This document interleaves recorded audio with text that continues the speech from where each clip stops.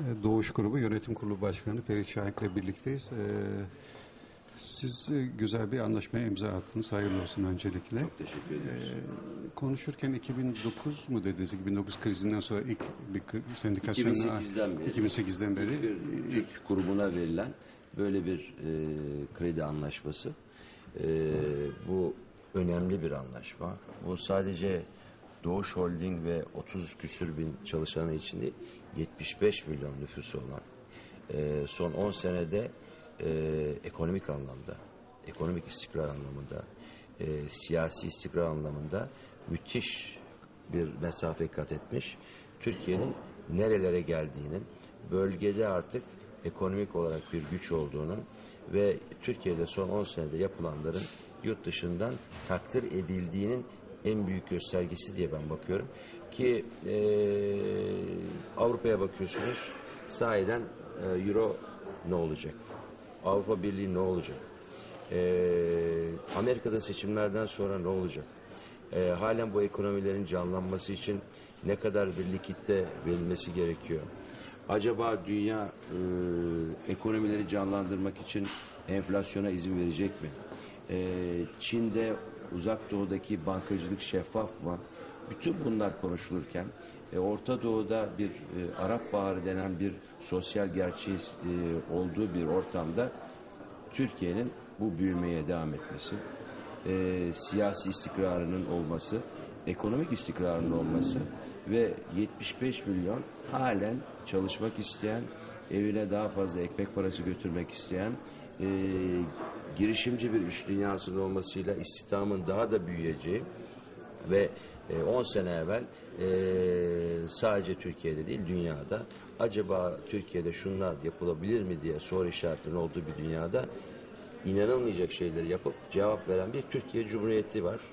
E, inançla yürüyen, e, kendine güvenen bir idare var, bir hükümet var.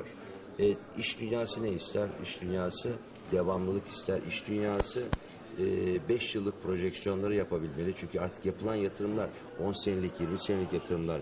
Burada riski aldığınız zaman e, istikrara çok önem verirsiniz. E, hamdolsun Türkiye'de bunların e, hepsi var. Eksilerimiz yok mudur? Muhakkak cari açığı tartışırız, onu tartışırız. Daha fazla sanayileşmemiz lazım. Bunlar tartışılır ama e, takdir edelim ki e, Türkiye son 10 yılda birçok problemlerin üstünü çizdi. Ee, şimdi artık daha uzun vadeli projeler, daha uzun vadeli planlar yapar hale geldi. Artık devlet Türkiye'de ekonomik olarak güçlü bir hale geldi. Eskiden devlet e, bilançosu e, kötüydü. Bu anlamda iş yapılacak bir ortam yoktu. E, bu demek ki artık Türkiye'de önemli gelişmeler var. Ve bu kredi işte onun en büyük e, göstergesi. Yoksa 3 yıllık e, Libor artı 3 ile e, bir Türk grubuna böyle bir krediyi vermek. işte bütün bu demin özetlediğim olaylar olacak ki burada bu bankalar gelsin bu imzaları gönül rahatlığıyla atabilsinler. Sizinle biz e, yaklaşık 4 sene önce Ecorit'in dergisi için özel bir röportaj yapmıştık ve kapaktan biz bunu verdik. Burada Türkiye ilk beşe girer diye bir önemli... kiloluymuşum ben. evet, biraz kilo vermişsiniz. evet.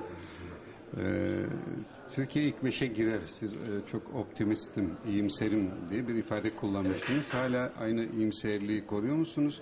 Türkiye'nin 2023 hedefleri var. Siz konuşmanızda 10 bin dolarlardan 25 bin dolarlar çıkma durumu söz konusu olabilir Evet. demiştiniz. Ne diyeceksiniz? Bugün aynı iyimserliği koruyor musunuz?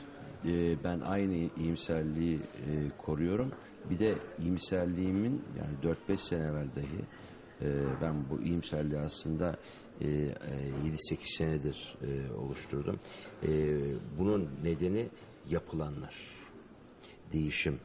E, bakın kağıt üzerinde e, plan proje yapmak çok kolaydır. Bunları uygulamak, bu değişimi maliyeti ne olursa olsun yapmak çok büyük bir siyasi e, irade ister. Şirketlerde de aynı siyasette olduğu gibi şirketlerde de e, değişim yapmak kolay değildir.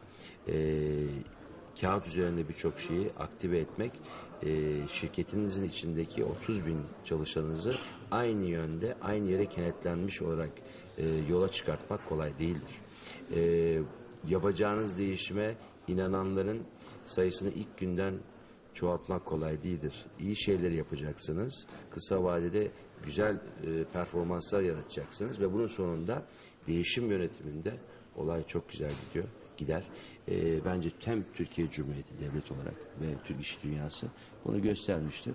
İnşallah e, dünyanın şu konjonktüründe biz bunları yapabiliyorsak dünya daha da iyileştiğinde çok daha iyi yaparız. 2023'te ilk beşe girebilir mi sizin iddianız? Yani bir hedef olması lazım. Hedef olması lazım. Beş olmasında yedi olsun. Ama önemli olan Türkiye'deki sosyal refahın, Türkiye'deki iş sahasının, Türkiye'deki e, işverenin e, enerjisi çoğalsın. Türkiye'de e, insanlar daha fazla iş bulsunlar. Türkiye ihracatıyla, Türkiye turizmiyle, Türkiye sanatçısıyla, sporcusuyla, e, bütün sektörleriyle kendini daha iyi tanıtsın. Türkiye'nin önünde kimse durmaz. Yani beş olmuş, yedi olmuş önemli değil. Önemli olan daha iyi gitmek. Çok teşekkür ederiz. Teşekkür ederiz.